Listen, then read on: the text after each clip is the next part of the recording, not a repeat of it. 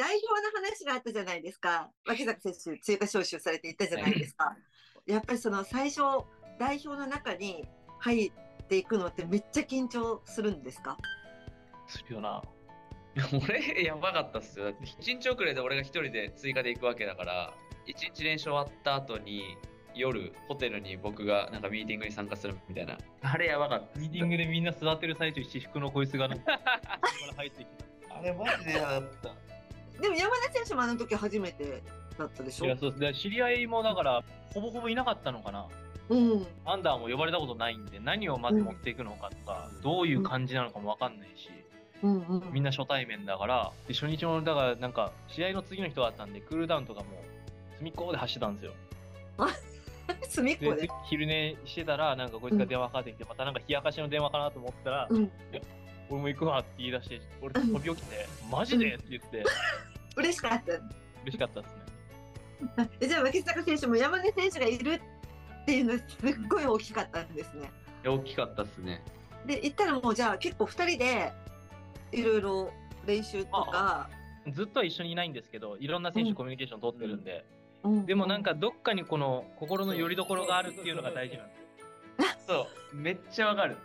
その、常に一緒にいる仲間が欲しいわけじゃなくて、うん。転々とする中での落ち着きどころみたいなそう。そうそれが必要なんです。初回ヒデもいたんで、あ、そうだね、森田でね。そう。あだから結構でかかった。そう。そうなんだ。でなんかだからでもそこでぐっと二人の関係が近くなったの分かりますねやっぱり。うん。そう。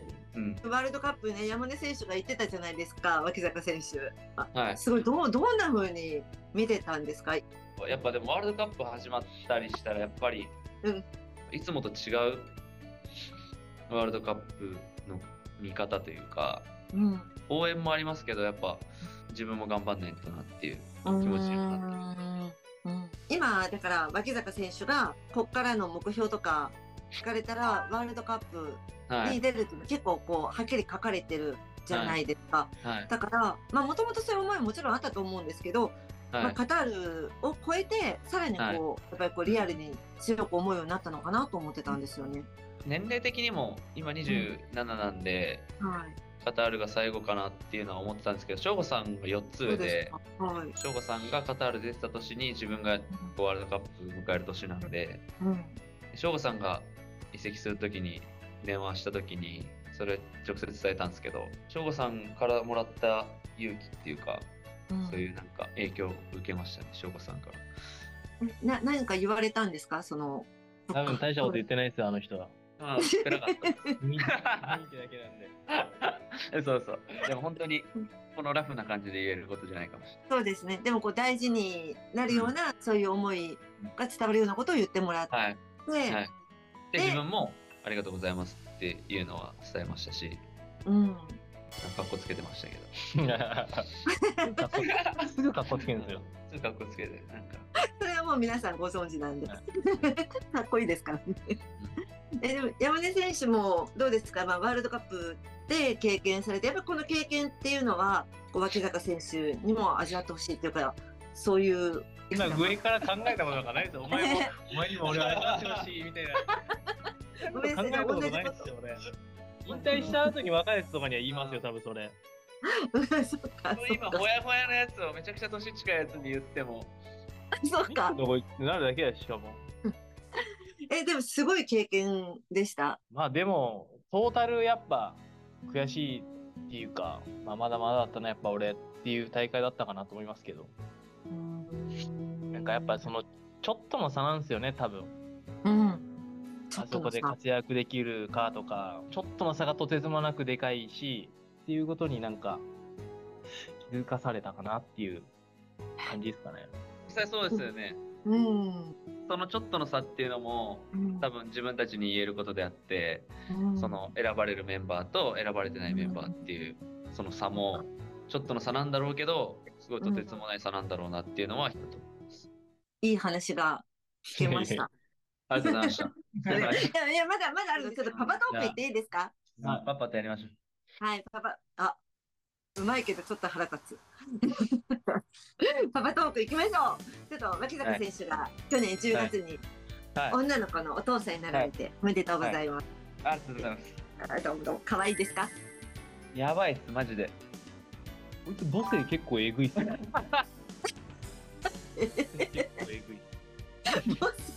意味わかんないんだけど。マジで？どういう。こと？なんか、いや、僕とかも大きくなっていくにつれて、やっぱ愛情がもうどんどんどんどんでかくなっていくわけじゃないですか。ああでもね時間もあるしそうですよね。生まれた瞬間の子供をなんかもう、とんでもない熱量でこう、母性すご って、いや、もちろん生まれた瞬間が可愛いし、もう愛すべき存在なんですけど、お父さんって子供が大きくなるにつれてどんどんパパになっていってどんどん可愛がっていくって聞きますもんね。俺大きくなんないでほしいです、今。もうまだいい。いつもマジで？大きくなんないでって言ってます。このままいてくれって言ってます。いつもえ何やってる時が一番幸せですか？いやもう、いやもう全部全部。うんまあ全部可愛い。マ具体もう全部なんジだ。で。全全部。部。いや、本当に具体的なのが全部。最近でも、ミキ君にお祝いいただいたうん。椅子に座らせることができるようになったので、うん。うん。その椅子に座るようになってから、ちょっと離乳食を進んで食べてくれるようになって、うん。それもめっちゃ嬉しいし、うんうんうんうん。はい。母性すごくないですか？いやなんか。母性すごいとかいつも言われるんだけど。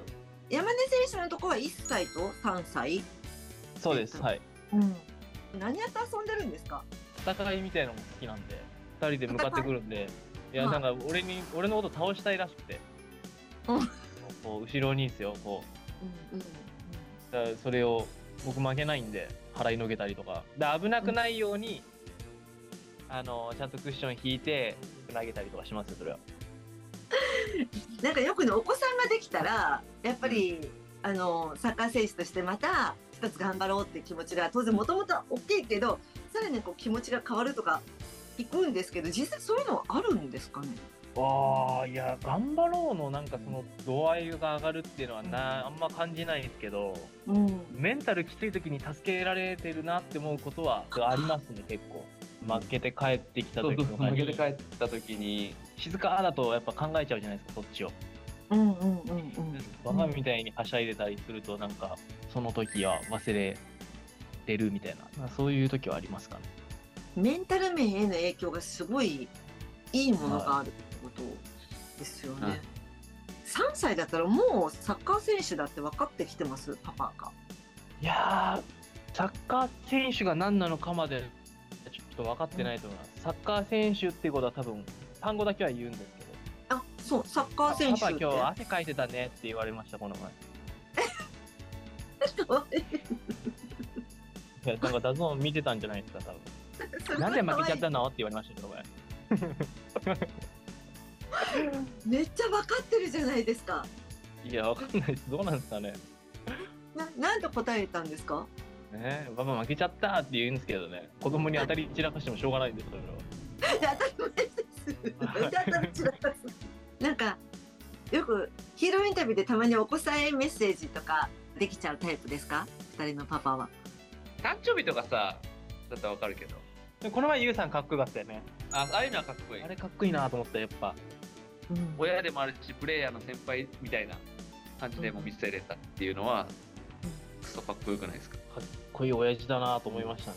うん小林修選手なんかは結構お子さんのことをこう前面に押し出していいパパのまあもう本当絵に描いてるねいいパパみたいな感じで演じてるんで。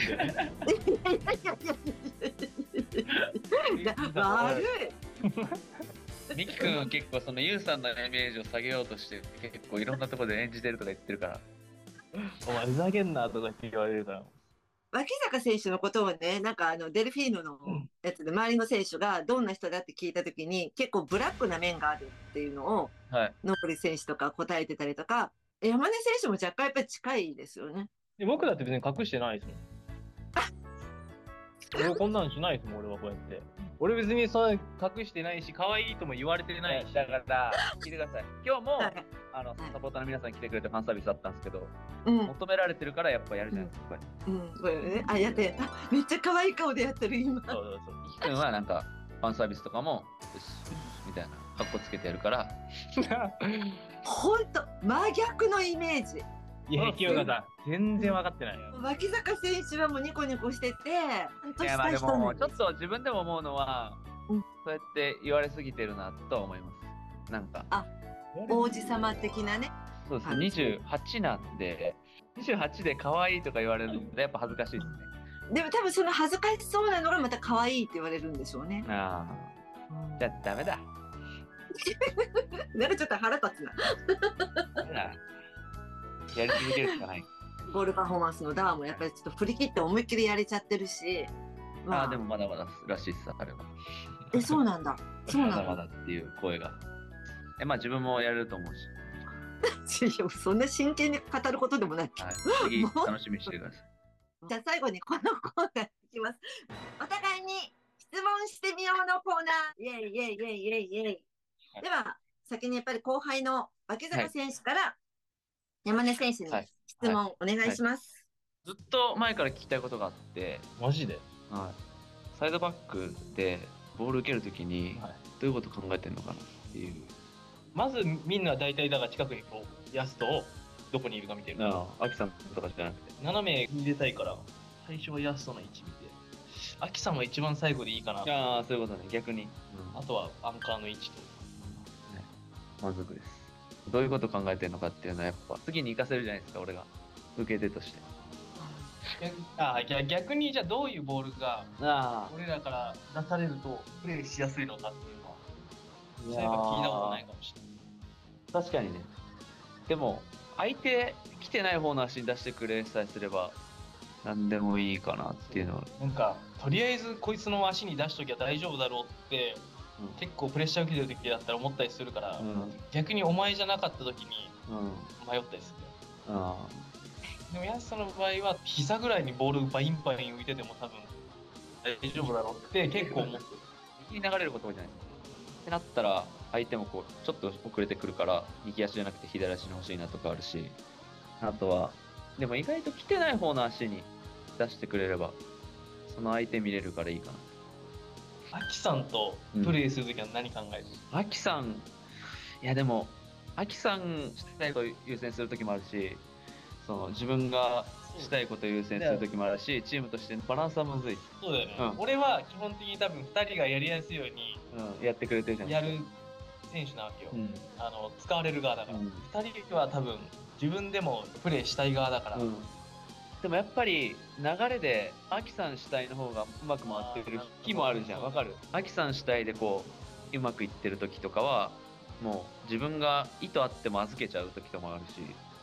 ああなるほどね。その辺なんか俺よりあのヤストの方が多分神経を結構使ってんだろうなと思ってであとはやっぱ逆サイドとかフォワードとかも関わるからその判断もむずい時ある。だからプレーしてきてた経験をもとにするしかないか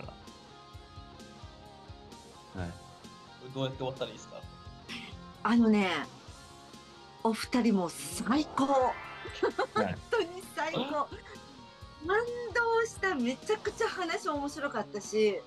ねだから一回はい。なんか、アキさんにも聞いてみたいところあるんで、一回清香さんが聞いてもらった方が面白いかもしれないです。何も考えてないとか言っていいですおもろいけど。ありがとうございます。あのサポーターに向けて最後一言ずつお願いします。とにかく今はもうチームが一つでも上に行けるようにみんなで頑張って、えー行ってますし練習でもスタジアムでも、えー一緒に楽しく勝ち上がっていけるように頑張りましょう。ありがとうございました。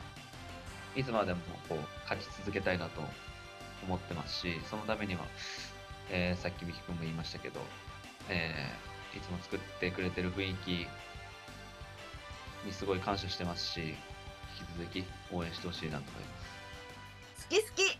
フロンターレ。レ山根選手キュンですとかもやれって言われたらやります。やれって言われたらおもろいね、でも。誰に言われるんですか？え今私に？じゃあ来週、来週。ほらほらほら。ほらほら。できるんすよ。めっちゃ面白いその顔しかやんなくない？うんそれしかやんない。可愛いなか？これしかやんないんだよな。ちょめっちゃ面白かったありがとうございますね、今日は別に面白さ目線でやってないんですよ。め可愛くって言われたら可愛くやってんの